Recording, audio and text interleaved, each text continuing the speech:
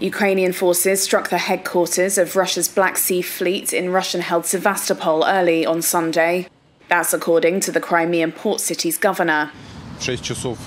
Sevastopol governor Mikhail Razvozhayev told Reuters six people were wounded in the attack when what was presumed to be a drone flew into the courtyard of the headquarters.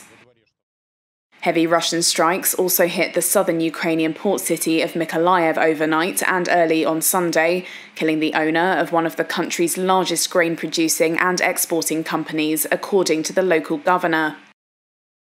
Meanwhile, fierce fighting in the eastern Donetsk region continues, and hundreds of thousands of people are still living in combat zones.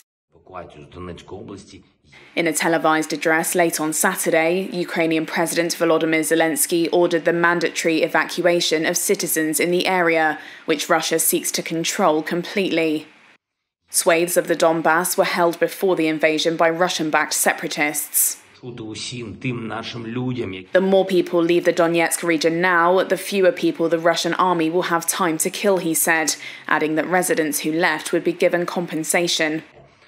Ukraine and Russia have traded accusations in recent days over a missile strike or explosion early on Friday that appeared to have killed dozens of Ukrainian prisoners of war in the frontline town of Olenivka, held by Moscow. Reuters journalists confirmed some of the deaths at the prison but could not immediately verify the differing versions of events. Russia on Sunday invited the United Nations and Red Cross experts to probe the incident.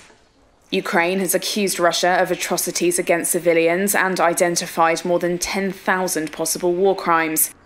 Russia denies targeting civilians and war crimes during the invasion, which it calls a special military operation.